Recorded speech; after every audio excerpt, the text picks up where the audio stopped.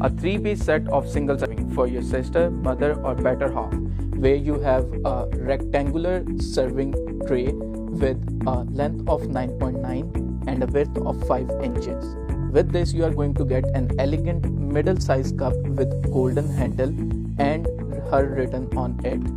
Plus, you are going to get a stainless steel spoon with a leaf design pattern on it